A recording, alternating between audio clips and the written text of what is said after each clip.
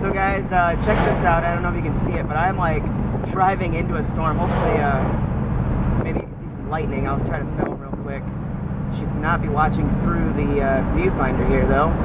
Um, I hope you can hear me actually too. Um, I don't know. If you look behind me, you can see it's pretty clear.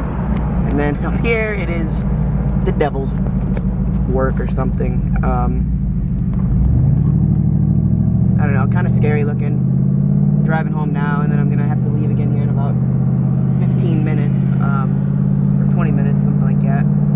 Um, but yeah, look at this storm. It's kind of crazy looking. I'm driving right through it now, or about to at least.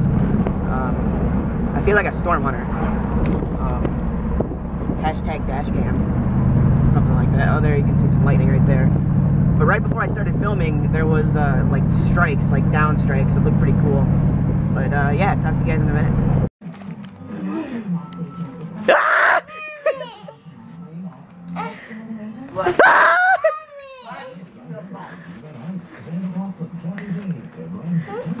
Oh no!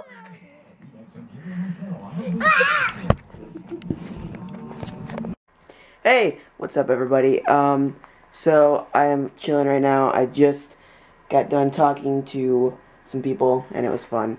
And yeah. Um, I went to Walmart tonight and I got my poster board because it is that time of the year, September, um, usually when Raw comes to Chicago. And they will be here, they will be in Chicago on the 29th, which I'm really looking forward to. I'm going to have a lot of fun with Kevin. Um, hopefully I get some good footage for you guys. Um, but yeah. Anyway, I'm about to head to bed. I had a long, long day. Um, you know, and, uh, yeah, I don't know what I was going to say there. Uh, tomorrow I'll go into Guitar Center with Alex. I'm pretty excited about that. Gonna play some drums. I'm thinking about taking my GoPro and trying to attach it to like a drum or something and seeing if it works.